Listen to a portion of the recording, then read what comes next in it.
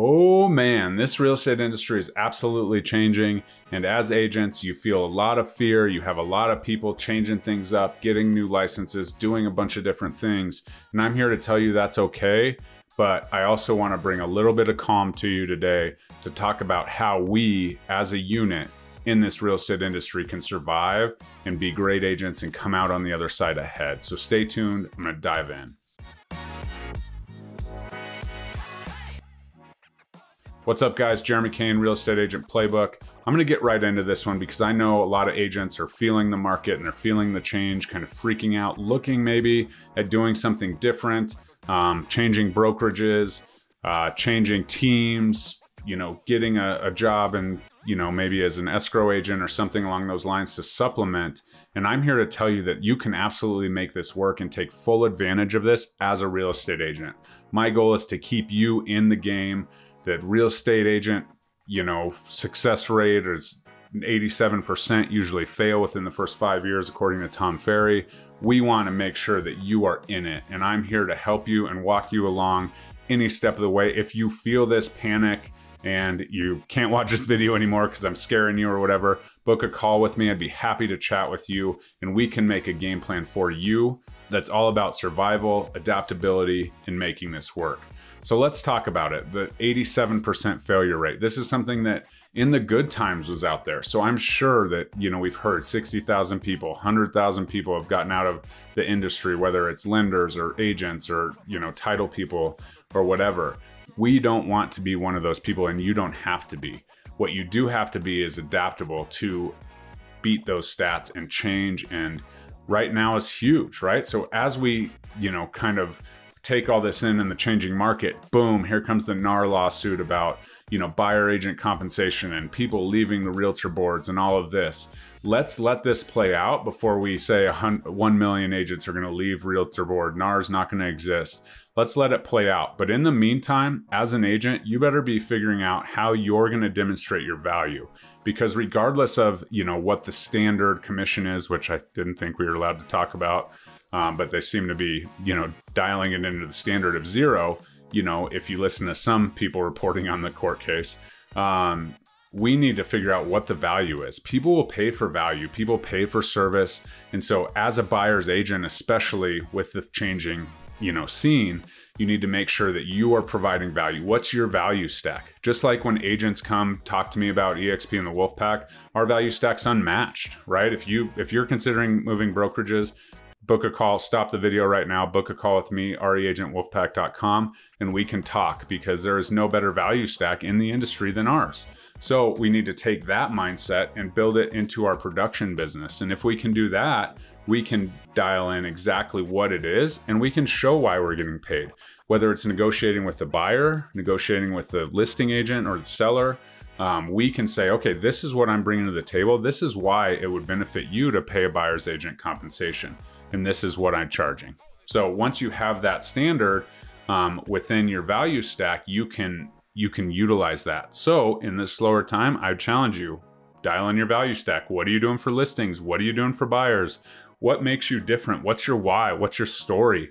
Because it's all about storytelling. So honestly, I'm not concerned about the NAR lawsuit because I'm providing value. This is my business. I'm going to obviously operate within the rules and the laws and things like that but I know that I have to show up and provide value. Just like when the iBuyers entered the market, like I had to provide value because that was definitely an easier route. A couple clicks, maybe a couple more percent they were charging, you know, but they're making good offers on houses at some point in their their tenure. Um, and I had to, you know, step that up and I still became one of the top listing agents in that time where sellers had options because it was all about value, it was about how I marketed properties, how I communicated right? Because here's the deal some people don't want to be communicated with, some people don't want to deal with people. Those people are going to go the iBuyer route if it makes sense financially. And there are some people that absolutely won't. I want to meet those people. I want to talk to those people, talk to those humans, and make that value come through. So just work on your value. I would spend less time watching about what's going on in the court case because you do not control what's going to happen or what that's going to look like. Keep your head down, get to work, provide that value stack, and you will certainly be grateful for that on the other side of this. Next, we have to talk about, you know, what is causing this? Why are transactions down 30 or 40%? Why is NAR coming out saying they'll probably be down another, you know, 4,000 sides nationwide next year? That's crazy because I thought the interest rates were going to come down and everyone is going to rush the market and we're going to have a, you know, feeding frenzy and all the things. Well, look, it might be a little bit longer. This winter might be a little bit longer.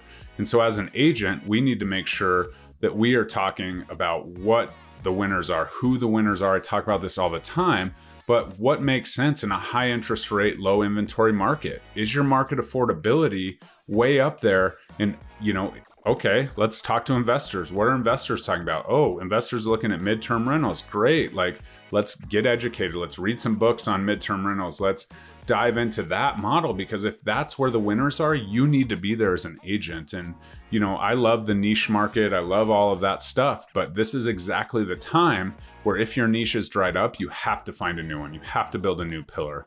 And that's my kind of mantra moving forward for all agents, agents in my group who I coach and mentor for free. Um, or agents that I'm talking to, right? Who are just friends of mine in the industry.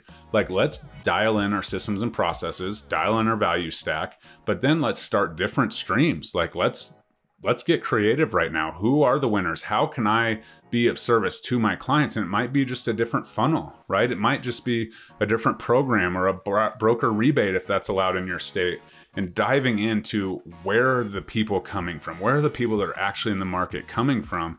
And if we can do that, we're absolutely ahead of the game. Dial in a new funnel who knows? On the other side of this you could have another income stream or two based because you know you have this part over here your business your 85% this is where your time spent but you're consistently delivering on client journey and client experience retention referrals whatever your business is over here that's worked in the past. I'm not saying abandon ship. I'm saying get that dialed in perfect so that when the faucet does turn back on that's where they're coming from. However, there is faucets, there's homes buying, trading hands every single day.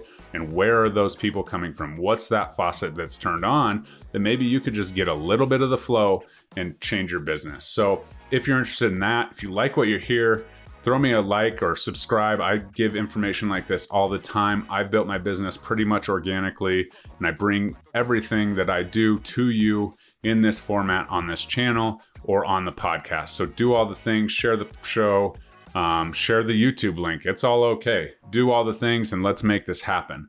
The next thing you need to be careful of in this new society is the tech overwhelm, right? As an agent right now, as a sphere, you know, trainer and, you know, live by my sphere, die by the sphere. That's funny.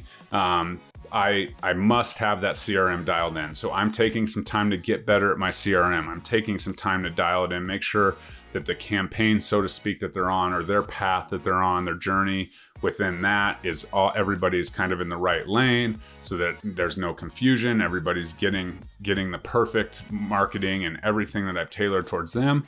And then I'm diving into AI, right? And I'll tell you right now, ChatGPT can probably eliminate three to four different subscriptions that you have that you're paying for that you may not even know you're paying for. If you take one thing from the book Shift that I've never read, but I know what you do, is you look at your bank statements and see what are those automatic recurring payments that you don't live, you know, need anymore. This is of utmost importance right now because every single website you go to, every single service you use is $9.99 a month, $9.99 a month, or $100 for a year, and then it auto renews out of nowhere, right? And we don't even use it anymore. I know for a fact that AI and ChatGPT can absolutely eliminate three to five of those in my business right now. So I'm going to embrace that tech. ChatGPT, AI, not really up your alley right now. That's okay. I would challenge you, I would tell you, even the industry leaders, the people that are at the top of EXP, the people that I saw spoke at EXPCon, they are still in the very infant stages of AI. And so there is still time for you to get into it, look at it, use it as a tool. A great resource for AI is an agent in my downline, Adam Gillespie. Look him up, Adam G303, give him a shout out there. But he is absolutely in this every day using it for some of the gurus who have teams that are using it and sending them to training and then trying to bring that information to you. Adam is in it every day and he's absolutely changed my business in the short amount of time that he's talked to me about, you know, the tenth of the knowledge that he actually has moving forward and he's updating his game every single day. So don't be scared of the tech right? But also don't go down the road oh i need i need leads so boom here we go. Those lead programs i'm telling you right now are worn out. Just as you know closed transactions are down so are the leads. How do i know? Zillow just raised their you know referral fee on the flex program to 40% in our market. So now you have to give Zillow 40%. Then you have to pay the the brokerage who's paying Zillow or has that partnership with Zillow and putting a lot on the line for them. And next thing you know, you're selling houses for 20% of the commission. And oh, yeah, buyer's agent commission just got a whole lot harder and a whole lot more confusing. And it's not an auto draft anymore. And so, what are we really looking for these leads for?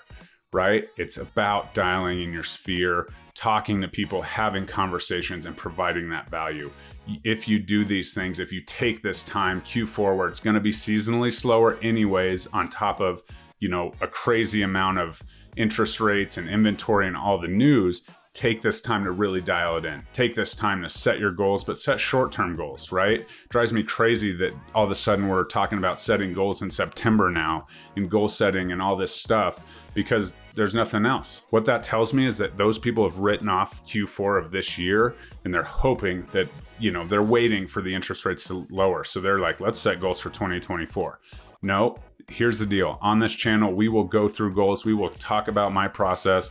We can even do a live workshop. If you want that, give me a uh, goal setting workshop comment below or send me a DM on Instagram, the RE Agent Playbook, and I will create a goal setting workshop. We can do it live when the time comes. But if you're setting your goals for 2024 and you're foregoing 70 or 25% of 2023, you're missing the boat. And so that's where you have to really dial it in. See who you're aligned with. Are you aligned with the right people? If you are not, I promise you that there is an alignment within our group, within the Wolf Pack, Mike Sherrard, Louis Galt, myself, that will absolutely change your business forever. So I would love to talk to you about that. As always, if you're just like Jeremy, I have no idea what you said, but I want to talk to you. I want more of that sauce. Um, book a realtor game plan call. We don't have to talk about EXP in that. But if you do have interest and you're thinking about changing brokerages, boom, hit me up. Would love to help you uh, make that decision and see if it's a good fit here or help you find another one. P.S. My dad's a managing broker of another company, um, and I I absolutely think that the right fit for a broker is of utmost importance right now because if you're not leveling up every single day and you're not surrounded by the very best in the industry, you are putting yourself at risk of being one of those 87%. So I hope this helped. Please share the show. Let me know what you think of the podcast. Let's get some more conversations going in that community. And I can't wait to talk to you soon. As always, like, comment, subscribe. We'll catch you next time.